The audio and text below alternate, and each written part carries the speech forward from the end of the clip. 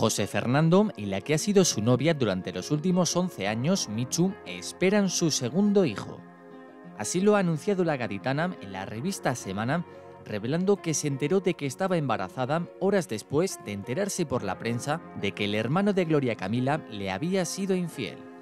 Su relación se rompió fulminantemente tras la publicación hace varias semanas de unas instantáneas del hijo de José Ortega Cano besándose con otra chica.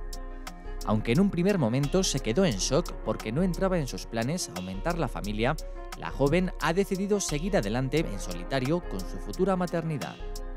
Una noticia sobre la que ya se ha pronunciado José Ortega Cano con una reacción inesperada. Ah, de Michu. Ah, ¿Qué se esperaba? ¿De Gloria o algo? sí. Y fiel a su discreción, ha evitado pronunciarse sobre la tensa relación que tienen actualmente su hijo y Michu, dejando también en el aire si le hace ilusión volver a ser abuelo.